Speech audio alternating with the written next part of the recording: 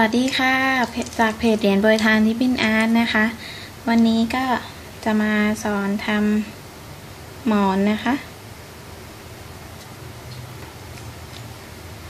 เราจะใช้ดิบบิ้นเบอร์สองนะคะจำนวนหกเส้นค่ะอ่าความยาวประมาณเก้านิ้วนะคะหกเส้น ด้านหนึ่งตัดปลายแหลมนะคะ อีกด้าน ตัดตรงๆนะคะนะคะแล้วก็ทำทีละคู่เนาะทีละสองเส้น จับมาสองเส้นนะคะ ซ้ายกับขวา ซ้ายทับขวาให้เหลือหัวมันประมาณนี้นะคะ จากนั้น เส้นที่อยู่ทางขวานะคะ ซึ่งอยู่ด้านใต้ข้างใต้ พับทับมาบนริบบิ้นอะแล้วก็ทับกลับไปอะต่อไปเส้นซ้ายแล้วนะคะ ทับหัวมาเอาหางทับไปนะคะ พลิกกลับจ้ะเห็นช่องไหมเอ่ย สอดเข้าช่องค่ะ แล้วก็ดึงให้สุด ปึ๊บกดกดกดก็จะได้ล็อกริบบิ้นได้มาแล้ว คู่หนึ่งตั้งไว้ก่อน คู่ต่อไปค่ะ ซ้ายขวาซ้ายซ้ายนะคะซ้ายทับขวา เหลือหัวนะคะ ทับจ้ะตามรูปเลยอะฮะจากนั้น ทับตา ทับกลับอีกทีหนึ่งพลิกกลับเห็นช่องไหม เห็นนะ สอดจ้ากดกดกดอะ ได้ล้วอีกคู่หนึ่งนะคะ อ่า อันนี้เร็วได้แล้วนะ คู่ที่สามปึ๊บปึ๊บปึ๊บปึ๊บ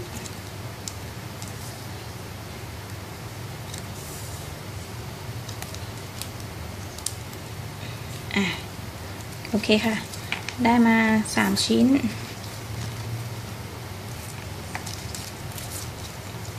หนึ่งสองสามแล้วก็จับมาสองชิ้นก่อนสองชิ้น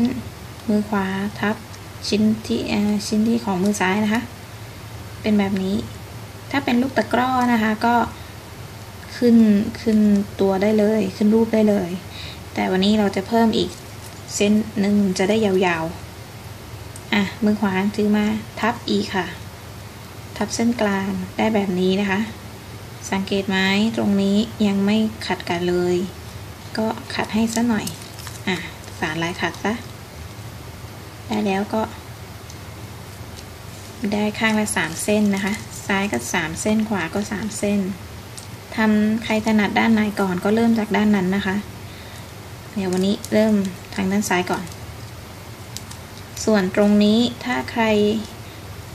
ยังมือไม่แน่นๆ เอาสกอตเทปมาแปะยึดไว้ก่อนก็ได้นะคะ จะได้ไม่หลุดเวลาขึ้นสารกัน ค่ะ เริ่มกันนะคะ เส้นซ้ายสุดนะคะ ทับเส้นกลางค่ะ แล้วก็ลอดใต้เส้น อ่า แบบนี้นะคะ จับไว้เห็นไหมคะ ต่อมาเส้นทางด้านขวา ขวาสุดนะคะ อ้อมไปด้านหลังค่ะอึบอ้อมไปด้านหลัง แล้วก็มาทับด้านหน้า เจอกันตรงกลางเห็นไหมคะ ยังไม่ขัดกัน ก็ขัดกัน อ่า โอเคได้เนาะ อะ ไปแล้ว รอบหนึ่งกลับมาเหมือนเดิมแล้วเห็นไหมคะขวาสามซ้ายสามหลุดจอจ้ะต่อไปรอบที่สองนะ ซ้ายสุดทับตรงกลางแล้วก็อ้อมใต้อีกเส้นหนึ่งต่อไปนะคะลิบบิ้นมันบังอืม วาสุดอ้อมไปด้านหลัง แล้วขึ้นมาทับ เจอกันตรงกลาง ขัดกันอีกที อะ ได้สองรอบแล้วค่ะ ต่อไปรอบที่สามนะ เร็วไปไหมจ๊ะ อืม รอบที่สามทำเหมือนกันเลยจ้ะ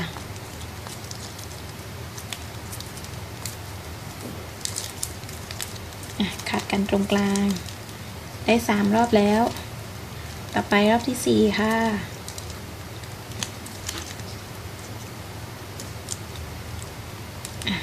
จับแน่นๆนะ เดี๋ยวหลุด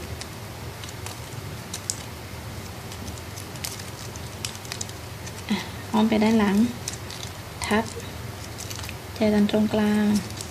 ก็ขัดกันอีกที อะ ได้สี่รอบ ก็จับดึงๆนิดนึงนะคะ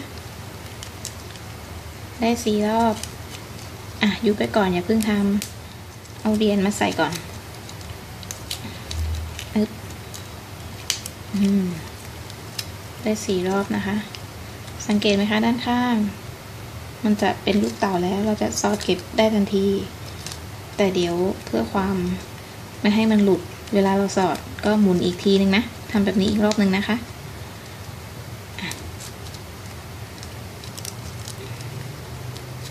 อ้อมไปด้านหลังนะคะทำเหมือนกันเลยค่ะทำเหมือนกันกับ รอบแรกๆเลยนะคะ โอเค ได้แล้ว เหลือสามสามเหมือนเริ่มต้นเลยนะคะ จับด้านขวาไว้ก่อน เราจะมาทำด้านซ้ายอะเริ่มจากเส้นที่อยู่ซ้ายสุดนะคะ เห็นช่องให้สอดไหมคะ เห็นช่องให้ล็อกไหม สอดไปเลยค่ะอะเราก็จะล็อกแล้ว ต่อไปมาด้านขวาค่ะอะ สอดตามมาเลยค่ะริบบิ้นมาแนวนี้ใช่ไหมคะสอดตามมาเลยปุ๊บต่อไป เส้นถัดไปยังอยู่ที่ด้านขวานะคะริบบิ้นไปทางไหนเนี่ย มาทางนี้ ก็สอดเก็บเลยปุ๊บอะด้านนี้พลิกกลับมาจ้ะจะเห็นง่ายกว่า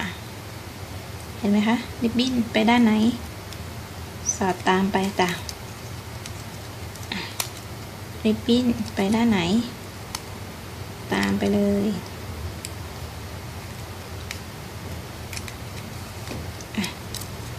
เห็นไหมคะ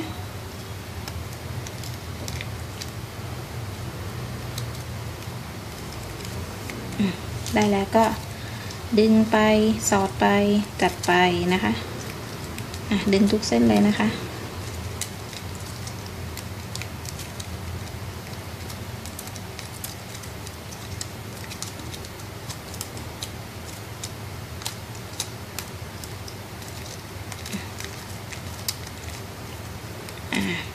แล้วก็เก็บริบบิ้นให้หมดเลยค่ะ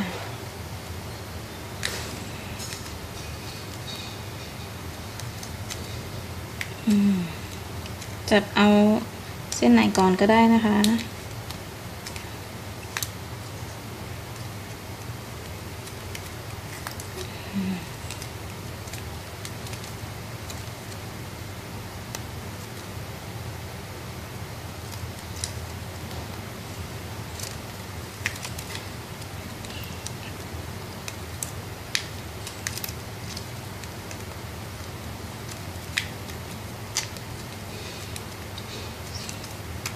เส้นไหนอะเดินให้หมดเลยปุ๊บ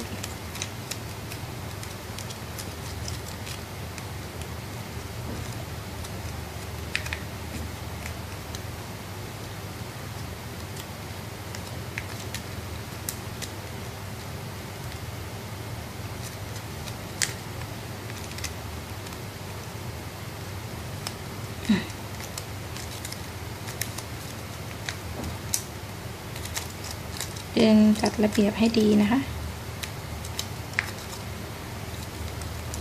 เสร็จแล้ว เราก็ตัดค่ะ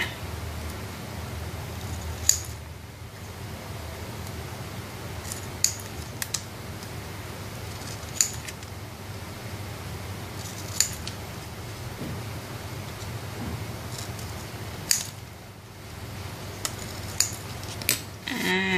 เราก็ได้แล้วค่ะ โอเคนะคะ ไม่ยากเลยค่ะ เพิ่มจากการทำลูกเต๋าปกตินะคะ เพิ่มขึ้นมาอีกคู่หนึ่งนะคะ ไม่ยากเลยค่ะ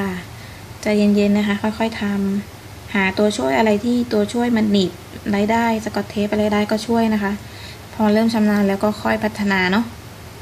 อเคค่ะ สุดท้ายนี้ก็อย่าลืมกด subscribe กดไลค์กดแชร์ให้ด้วยนะคะ เจอกันคลิปหน้าค่ะ ขอบคุณค่ะ